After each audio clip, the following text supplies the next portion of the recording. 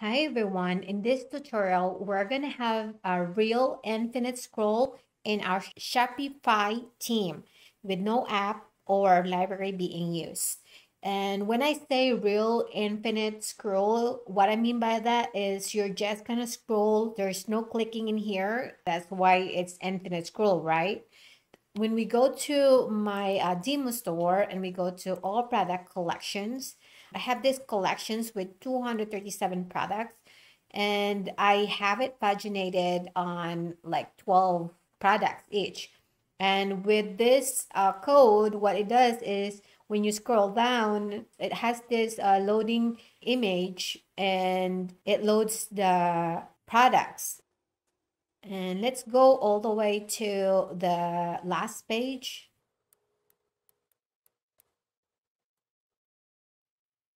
So on the last page, it has this no more products to load, but this is to be customizable and you can do whatever text you want it to be.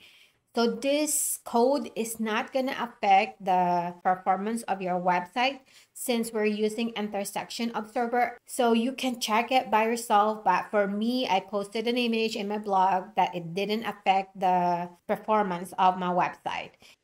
To start, we're going to go to our admin store.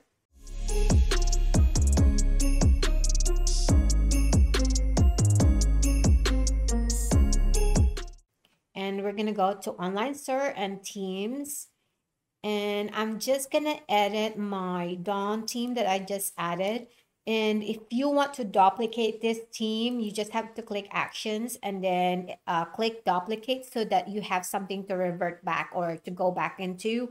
For me, I'm just going to edit the Dawn theme here, but it should work on any themes that you have. Just follow along on what I have posted on my website. I give instructions if you have different themes. And what we're going to do is we're going to click actions and then edit code so to have an infinite scroll, I decided to use the intersection observer and to use a snippet code. So what we're going to do is we're going to go to our snippet folder and then add a new snippet and you have to call it infinite dash scroll and then create snippet and we're going to go to our website and grab the infinite scroll code. And just click to copy this clipboard here and go back to our website and control V to paste. And I'm just gonna highlight it and shift tab to reformat. And then click save. Now that's all we need to do. We just have to add this to our collection section so it's usually in the section folder, but some of the themes have it in templates folder. I did have a list of those themes that might contain this collection. So for Dawn theme or any Shopify 2.0 themes or free themes, it should be the main collection product grid. So open that and we're going to go all the way down and find this and paginate so in here, we're going to add the code that we have in our website, the infinite scroll. So we're going to go here. So this is what I meant by which folder you're going to edit. So it really depends on your theme, but I did list some of the themes here. And if your theme is not in here, uh, let me know and I'll figure it out and then add it in here.